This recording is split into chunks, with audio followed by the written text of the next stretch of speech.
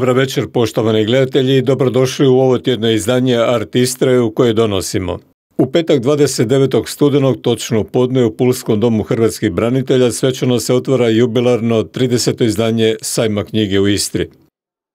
U konferencijskoj dvorani Arheološkog muzeja Istre u Puli održana peta i ujedno posljednja konferencija Izazovi galerija u razvoju publike.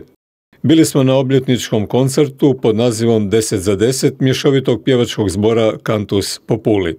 Više o najavljenom u minutama koje slijede.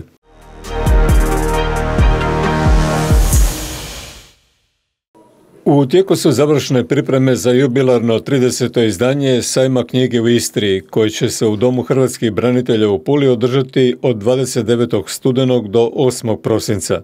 Danas je na konferenciji za medije u DHB-u najavljeno svečano otvorenje i program prvog vikenda sajma o kojem je govorila direktorica Magdalena Vodopja. Otvaremo sajam u, u petak 29. studenog točno u podne. Molim vas da nas podržite. Nama je to stvarno veliki trenutak. Ostati na nogama u ovom vremenu tranzicije, turbulentnom vremenu 30 godina, mislim da nema mali značaj. A čeka nas e, jako, jako vruće, jako e, uzbudljivi prvi vikend. Ne sjećam se kad smo imali ovakav program. Moram reći, tri velika strana autora, već prvi dan veliki intelektualac Rob Riemen nam dolazi, autor kultne knjige Plemstvo duha. Pa dolazi Donatella di Cesare, poznata talijanska filozofkinja koja ima temu migrante koja nam je dosta bolna. I u nedjelju stiže, mislim sad se već govori najveća zvijezda sajma, mladi Oliver Lovrenski koji se svojom debitantskom knjigom ono pokorio Europu što se kaže, ali već ima ovdje svoje velike fanove, on priča o jednoj novoj generaciji, generaciji Z, o njihovim problemima i jako je lijepo čitati tu knjigu.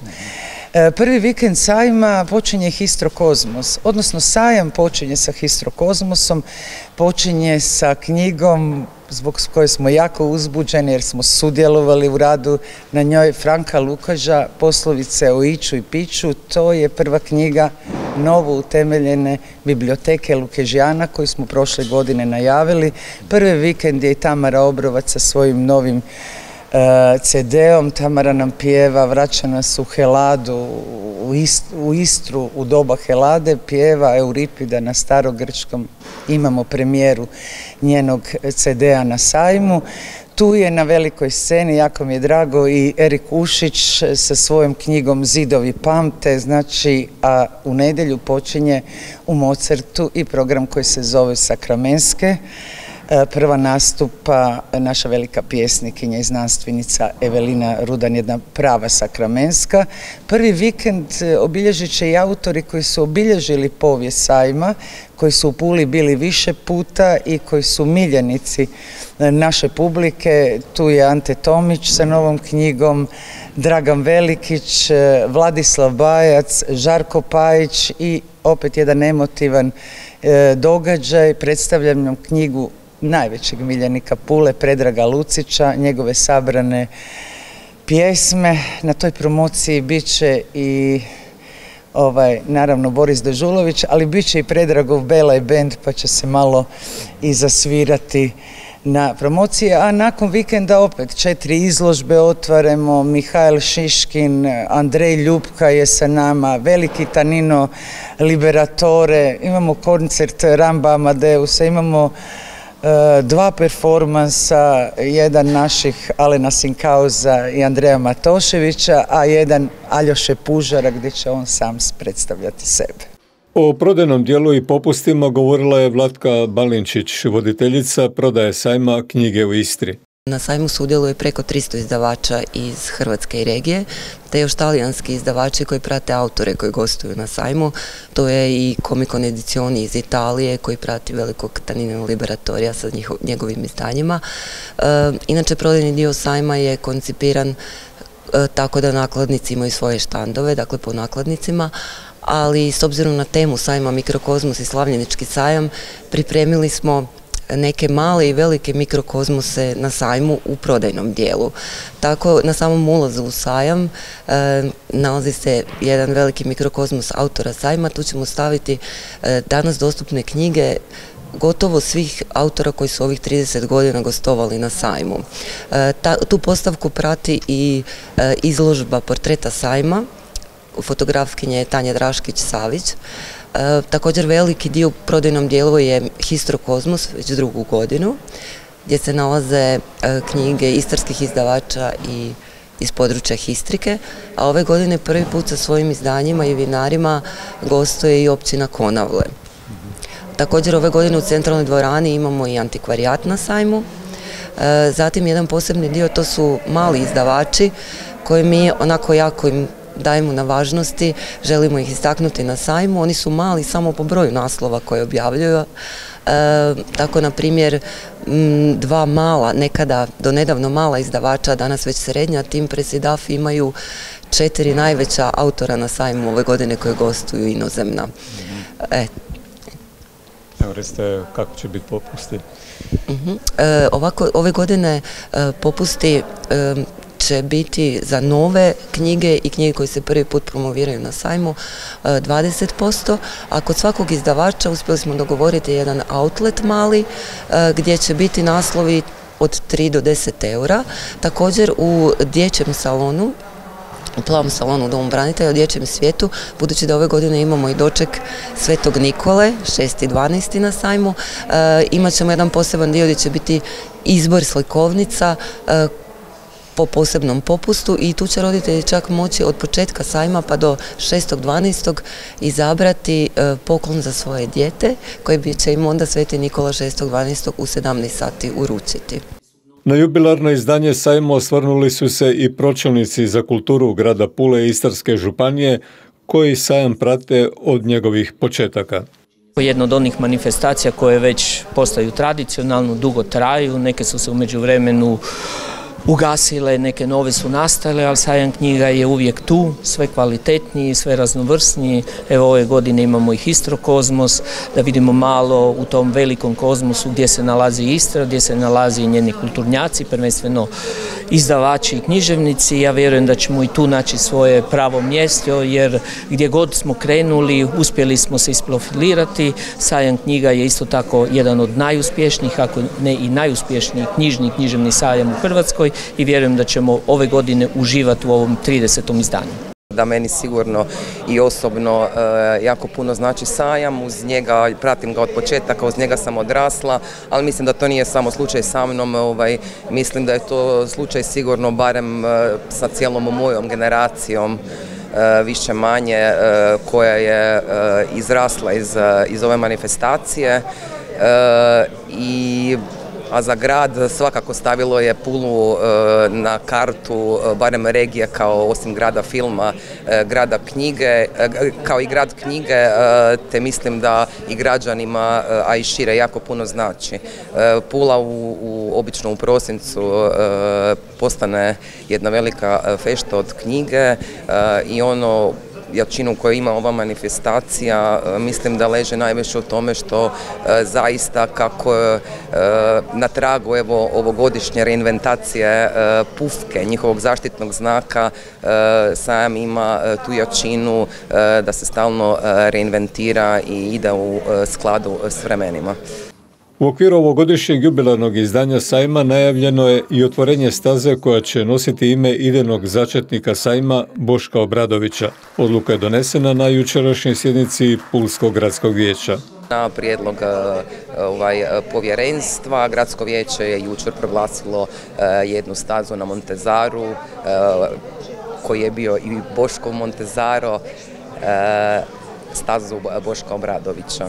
E, čovjeka koji je dugi, dugi, dugi niz godina zaista pustio trag u kulturnom životu grada Pule, ne samo kao osnivač e, sajma, nego kao inicijator e, i organizator i mnogih, mnogih drugih događanja. Njegov mikrokozmos je bio Montezaro, njegovo ishodište, njegovo utočište, njegova Arkadija, ovo je staza koja će sad nosi njegovo ime. Njom je on prolazio svaki dan u grad kod profesorice Ivezić punih gotovo 40 godina. Mislim da je staza našla svoje pravo ime, a da je ime Boška Obradovića u ovom gradu sada na pravom mjestu. U subotu, odmah drugi dan sajma, pozivam sve koji su voljeli, poštovali, poznavali Boška Obradovića i njegov rad da nam se pridruže na Montezaru u 13.30, to poslije one špice na, na, na, ovaj, na tržnici, samo nek se uspnu gore, nazdravit ćemo Bošku uz njegovu glazbu, njegove stihove. Glavni pokrovitelji 30. izdanja sajma su Ministarstvo kulture i medija, Istarska županija, Grad Pula, Zagrebačka banka i Arena Hospitality Grupa. Veliko mi je zadovoljstvo biti ovdje. Smatram da je sajam knjige jedan od najvećih kulturnih događaja tijekom godine u Puli i mislim da smo lani započeli jednu pravu malu kulturnu renesansu. S druge strane, manifestacija jako puno utječe na grad kao turističku destinaciju i to mi kao turistička kompanija osjećamo. Zbog toga je Arena Hospitality grupa ponosna što podupire sajam knjige i nadam se da će i ovo 30. izdanje biti uspješno kao i svih prijašnjih godina. Obećavam da ćemo nastaviti s našom potporom. A kako će izgledati sam program otvaranja sajma, njegova direktorica otkriva.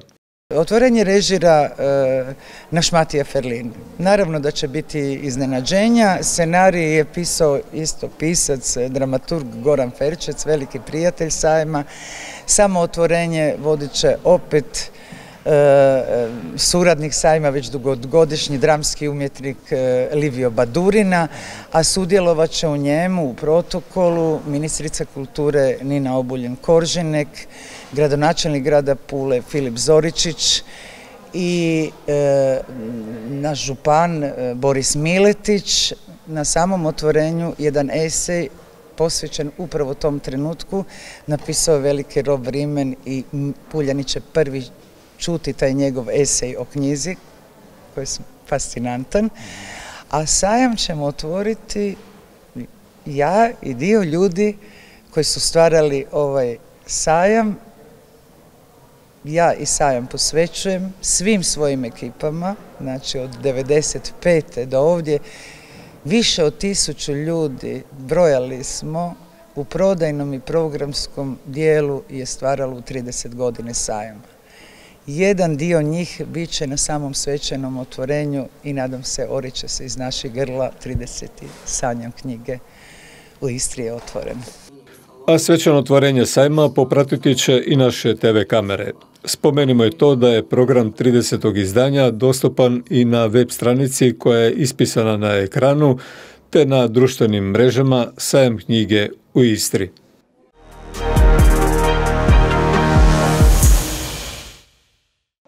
U konferencijskoj dvorani Arheološkog muzeja Istre u Puli prošloga je tjedna održana peta i ujedno posljednja konferencija Izazovi galerija u razvoju publike – na kojoj je bilo riječi o budućnosti galerijske scene kroz suradnju i inovacije. Posljednje izdanje konferencije bavilo se temama umrežavanja, profesionalizacije i razvoja publike u skladu s aktualnim trendovima u galerijskom sektoru.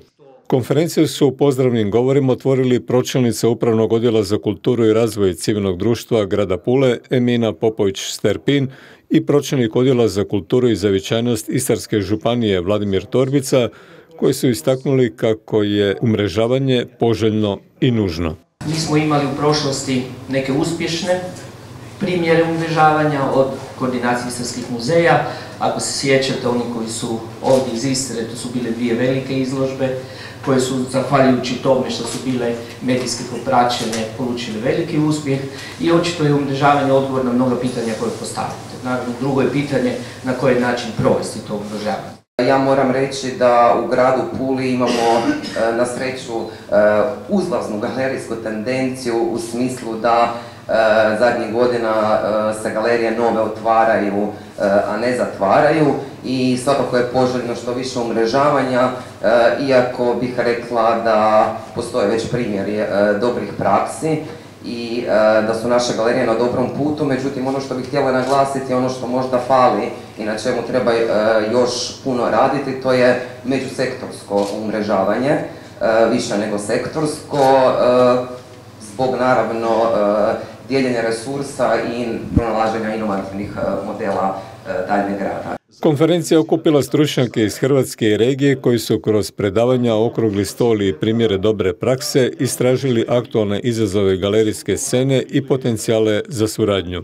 Peto izdanje nadovezuje se na prošlogodišnje teme i posebno ističe važnost umrežavanja galerija, a u fokusu su aktualni trendovi u razvoju galerijskih praksi i profesionalizaciji sektora. Uvodno predavanje održuje Zdravko Mihočinec, direktor aukcijske kuće Kontura, umrežavanju galerija i regulaciji tržišta umjetnina u Hrvatskoj. Imamo potpore značajne i posve opravdane za javne muzeje i galerije, ali za jednu djelatnost koju zovemo tržište umjetnina smo svi skloni reći, većinom kao predrasudu, ono ne postoji, ono je kod nas crno, ono je kod nas sivo. Ono je sve od toga što sam sad nabrojao, ali je činjenica da ono postoji i to postoji zadnjih sto godina. Nekima, nekima od vas sam već dao ovu knjigu. Dakle, ovo je knjiga koja je u izdanju e, Hrvatskog udruženja galerista izdana 2010. godine ili tako nešto, pročitajte. I, e, dakle, posvećena je prvoj hrvatskoj privatnoj galeriji, galeriji Ulrich u Zagrebu, koja je osnovana 1910. godine, djelovala je sve do drugog svjetskog rata. Dodaje kako tu galerijsku tradiciju koju smo imali treba obnoviti. Ujedno podsjetio je na prijedlog kojeg su uputili Resornom ministarstvu za olakšice prilikom kupnje umjetnina sredinom 90-ih. Koji je na Ministarstvu kulture bio prihvaćen, ali u Ministarstvu financija nije bio, bio prihvaćen. Zato jer je tamo bilo razmišljanje vi znate naš narod, svi će oni iskoristiti rupu u zakonu i svi će oni htjeti koristiti tu subvenciju. I onda je nama bio upitnik nad glavom e, zašto je takav zaključak. Pa mi želimo da svi koriste tu subvenciju, želimo da svi taj članak u zakonu konzumiraju, jer to onda znači da ako neko za kupnju, govorim sad abstraktno, od 1000 ili 2000 eura će to moći koristiti kao poreznu olakšicu, to nam dobrim dijelom čini transparentnim tržište umjetnina. Jer on može koristiti poreznu olakšicu samo ako ima račun, samo ako je taj račun izdan u legalnoj galeriji koja je registrirana i na taj način imamo već mali zatvoreni krug legalizacije onog što svi kažemo da je sivo ili crno. I valjda bi iz pozicije države trebalo biti interesantno da to bude oporezovano. Dakle, država se naša čitavo ovo vrijeme miri sa situacijom da je nekakvo tržište umjetnina, red veličina teško, pa ajde, da budem optimističan, par, par milijuna eura i da zapravo to nije neki značajni iznos kojima bi se neko trebao baviti i sve to lagano se prepušta ovako da se, e, kao što se kaže, samo regulira i da zapravo imamo nešto tu i tamo ovako točkasto, a u realnosti nemamo ništa postavljeno sa fundamentom i sa mogućnošću da se u budućnosti razvija. Mihočinec je predavanjem obuhvatio ključne korake prema stvaranju stabilne galerijske zajednice i održivog tržišta umjetnina, istaknuši kako su uz umjetnike i galeriste važna i udruženja galerista. Ta udruženja jasno primarno e, pokušavaju ispunjavati e, zajedničke ciljeve, zajedničku dobrobit za zajednicu galerista, ali e, bitna su zbog toga jer e, trebaju raditi i trebaju razvijati one osnovne postulate struke. Dakle, struke upravo tržišta umjetnina, struke galerista, struke art dilera. E, razvijati u svim vidovima, kako na profesionalan način, u kvalitativnom smislu izlagati, prezentirati likovne umjetnike, ovo što sam već spomenuo, kako odgajati svoju publiku i kako se pozicionirati unutar društvenih struktura. E, naša pozicija pojedinačno kad se tijekom proteklih desetljeća e, javljamo, apliciramo na razne fondove, od Ministarstva kulture pa na niže, je jasno puno slabija nego da to radimo iz pozicije zajedničkog udruženja galerista koje onda kroz zajedničke ciljeve može imati zajedničke programe i jasno da će to biti na korist sviju, sviju ovi koje sam nabrojio. Uz njih za razvoj tržišta umjetnina važne su i aukcijske kuće te sajmovi umjetnina, naznačuje među ostalim direktor aukcijske kuće Kontura. Aleksandra Lazar, predsjednica Asocijacije umjetničkih galerija Srbije, govorila je o umrežavanju srpskih galerija u nacionalno udruženje te izazove i koristi učlanjenja u Federaciju evropskih galerija. I uglavnom je u početku prvih godina bilo strašno bitno podeliti probleme, podeliti uh, konstruktivno stvari koje ne postoje u galerijskom sistemu, stvari koje koče. I tu su bili mnogi, apsolutno problemi su bili na svakom koraku. Te stoga jedan od ciljeva osnivanja asocijacije je bilo povezivanje galerija i na lokalnom, ali i na regionalnom, nacionalnom i međunarodnom planu radi razvoja poslovanja, radi prezentovanja razvojnih mogućnosti i identifikovanja i korišćenja rasta naših raspoloživih resursa.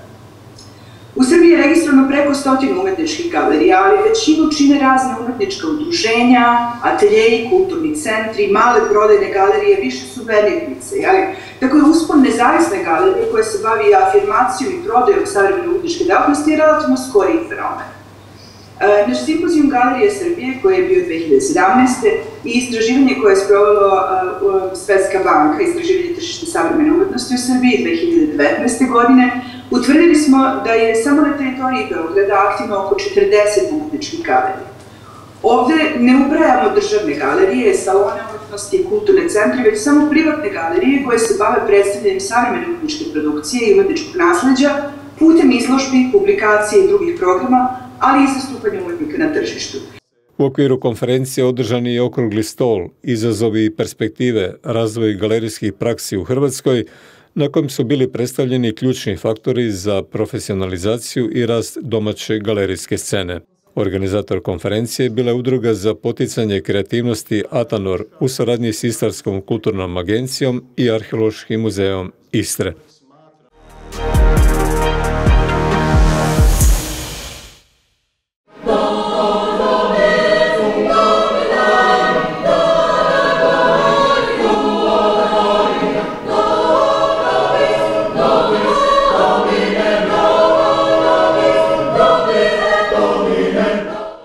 Je to samo dio ugođaja sa obljetničkog koncerta pod nazivom 10 za 10 mješovitog pjevačkog zbora Cantus Populi, koji je proteklog vikenda održan u Muzeju suvremene umjetnosti Istre. Pod vodstvom dirigentice i osnivačice Tatjane Merkel, zbor je izveo presjek svog desetljeća rada uz raznolik repertoar i energične izvedbe.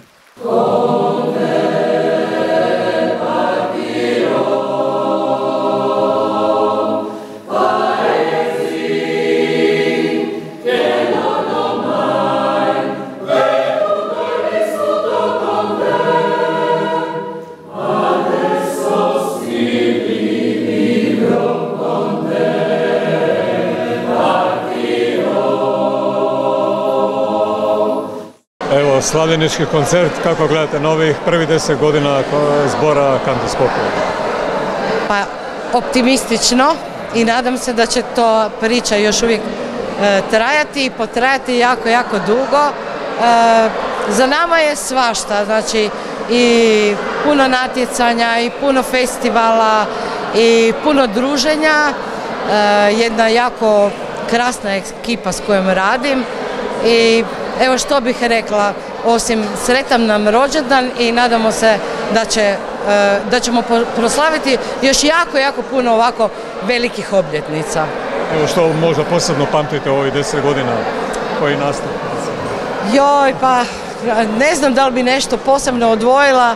Znači, svaki nastup je i, e, drugačiji za sebe, interesantan, nosi nekakve poruke, i neke stvari koje nikad ne zaboraviš. E, suradnje su mi jako bile interesantne, ono što smo prije napomenuli sa Dogmom i Sašom Antićem, pa onda kad smo snimali Kud idiote, pa recimo prvi odlazak na natjecanje 2016. E, u Rimini kad smo išli. Kažem, to, to su sve stvari koje u stvari ne možeš zaboraviti, koje su prekrasne i uvijek ostanu u srcu. Na koncertu su im se pridružili glazbeni gosti Rovinski komorni zbor Rubino i harmonikaški orkestar Stanko Mihovilić, dugogodišnji prijatelji i suradnici zbora koji su zajedno otpjevali i zasvirali nekoliko pjesama.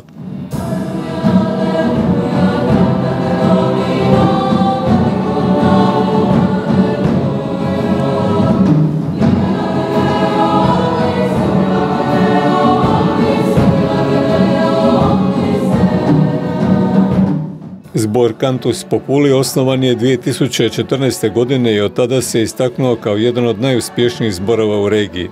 Svoju prvu probu odradio je krajem listopada navedene godine, a početkom prosinca iste u Pulskom Čirkulu imao je svoj prvi nastup na adventskom koncertu na dobro vam došlo porođenje. Čini ga raspjevano društvo prijatelja i zaljubljenika u pjevanje, njih ukupno 36 koje je okupila dirigentica Tatjana Merkel. Kako se zapravo rodila ideja za osnivanje zbora? Pa nastala je od jedne nekolicine e, pjevača s kojima sam se ja družila i pjevali su mi u nekom drugom zboru i kad sam ja izašla iz tog zbora oni su rekli pa napravi nešto i tako je nastao Cantus Populi. Da. Ovdje ste prvi put nastupali u Muzeju suvremene umjetnosti? Je, prvi puta, inače ja sam surađivala nešto sa ravnateljicom i kad sam došla prvi put u prostor sam shvatila kako je to fino akustično e, mjesto gdje bi trebalo održati nekakav koncert i evo ona nam je ustupila prostor i na tome smo je jako zahvalni i nadam se da će biti još prilika nastupati ovdje. Zbor je u protekli deset godina sudjelovao na brojnim domaćim međunarodnim natjecanjima, osvojivši 11 zlatnih, tri srebrne i jednu brončanu diplomu su organizatori međunarodnog natjecanja zborova Istrija Kantat, koje provodi zajedno s Hrvatskom udrugom zborovođa, te organizator događa višeglasni zagrljaj povodom Dana grada Pule. Također povodom blagdana Svetog Tome, zaštitnika grada Pule, organizira cjelovečernji koncert Odjeci glazbe. Zbor njeguje raznolik repertoar. Ja se trudim kao dirigent staviti apsolutno sve, znači od gospela, obrada popularnih i rock pjesama, pa do sakralne glazbe, folklorne glazbe. Znači mislim da smo pokrili skoro sva područja, pa evo kažem i e, suradnje sa orkestrom, znači ne samo kao zbor nego i kao e, jedna zajednica orkestra i zbora, kažem, tako da stvarno je raznoliko. Evo, trudimo se da budemo e, u sve involvirani. Zbor njeguje i istarski glazbeni izričaj, nastupajući na smotrama istarske glazbene ljestvice, kao što je Naš kanat je lip, na kojem su nastupili tri puta. Zahvalila Muzeju suvremene umjetnosti Istre i njihovoj ravnateljici Ketrin Vujičević-Bjašek na ustupanju ovog predivnog prostora. Zahvaljujemo Istarskoj županiji i upravnom odjelu za kulturu i zavičajnost e, Istarske županije koji su e, nam podupiru rad zbora i pomogli u realizaciju ovog projekta.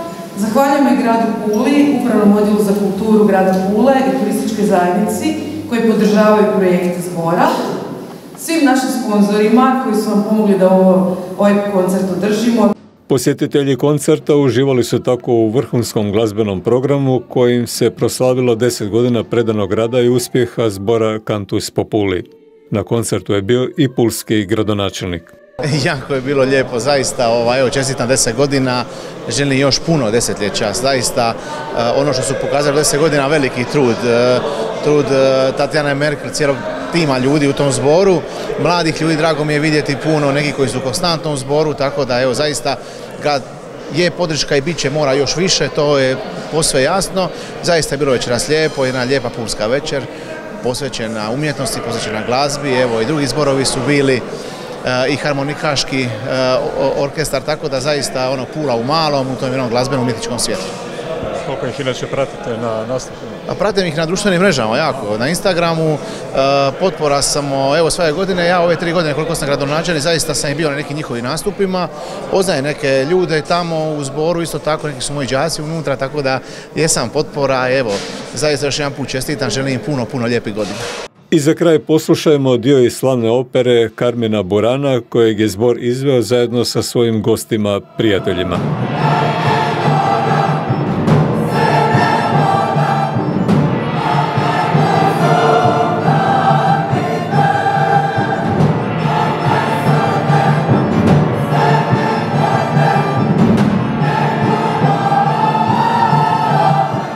Ovime smo, poštovani gledatelji, došli do kraja naše večerašnje emisije. Ako ste što god propustili, istu možete pogledati na našem portalu www.tvnova.hr.